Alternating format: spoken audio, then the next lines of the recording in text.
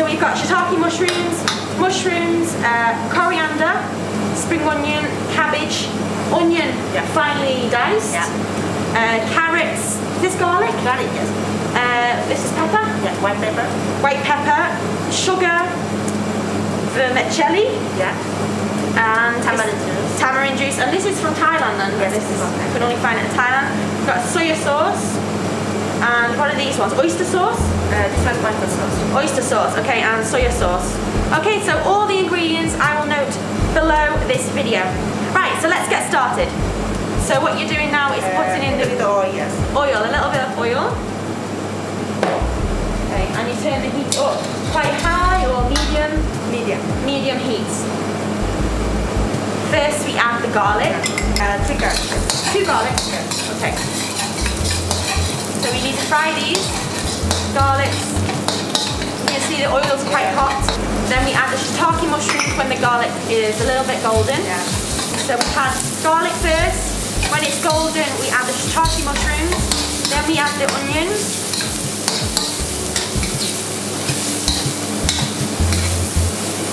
Yeah. Give the flavor.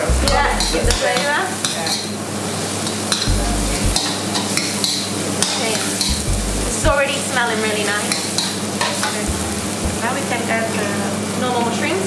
Now you can add the other mushrooms. So like champignon curry. Yeah.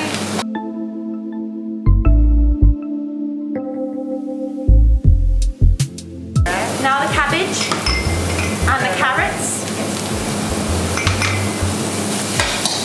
So it's pretty fast, nothing stays in the oil too long. Okay, so now let's put the sauce in. It's and which sauce is that? uh, soja. Soya sauce. You can put everything in the same time. Is that soya sauce too? Uh, oyster sauce, soya sauce, oyster sauce. No. Soya and then oyster and then soybean. soybean. Okay, and this is Uh, the tamarind. tamarind juice. Sugar. Now the sugar. How much sugar? Uh, 20 gram. 20 grams? Yes. This is 5 gram. and 5 grams of pepper. And now vermicelli. And we just mix it together. As you can see.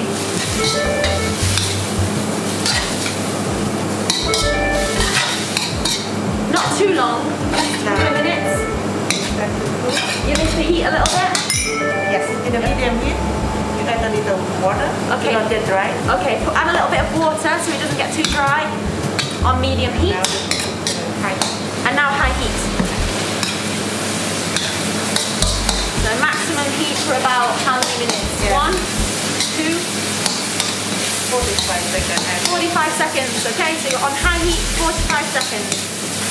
done. You turn it off heat and you put the Coriander. coriander and spring onion. Okay, after 45 seconds on high heat, turn the heat off and we add spring onion and the coriander in last. We add, we put it into the fridge now for one or two minutes, not very long, and then we will show you how to make the spring roll. So now we're going to make the spring rolls. We put it in the fridge to cool down. In this bowl we've got some tapioca. Uh, it's a powder. You need one tablespoon of tapioca with 300 milliliters of water and you mix it together and we'll show you why you need that in just a few minutes time. We've also got some spring roll pastries here. So you take your spring roll pastry. What we're going to do here is we have our ingredients. Depend on the size you. Depends on the size. If you want a big fat Yeah, you want spring roll, you need to put a lot in. If you want a small one, it's really you that decides how much you want. Okay, so you put it in like a diamond Yes. roll. Start here, Okay, roll until the medium. Yeah. Stop.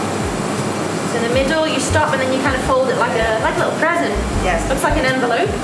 Yeah. And then you keep rolling. Ah, this is where it comes Yeah. in. Okay, for it to stick. Tapioca. Yeah. So you put a little bit of tapioca just on the top. Okay. Can I give it a go? Can I try? Yes, of course. Okay.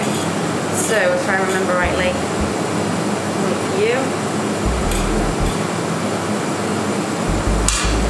Okay, so it's like this, Yes, like a diamond. You, you know how to make sushi? Yeah. And you make sushi?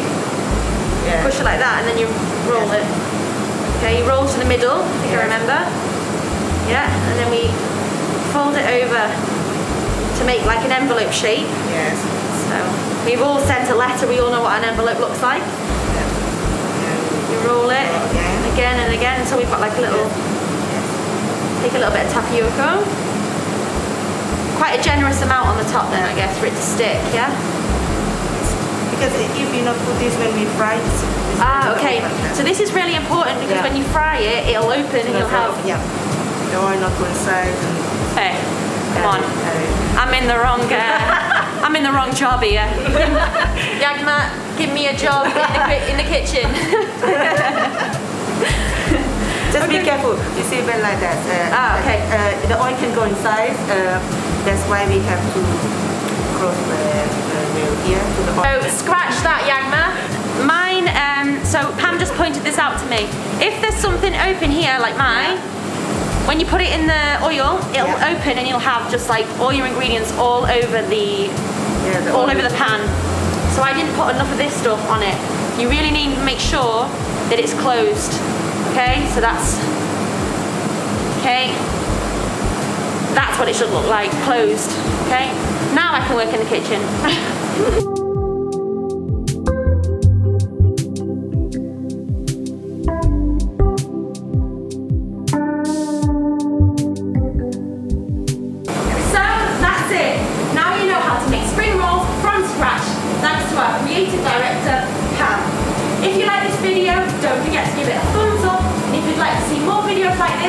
hit on the little bell below to subscribe to our channel. Thank you so much for watching. We love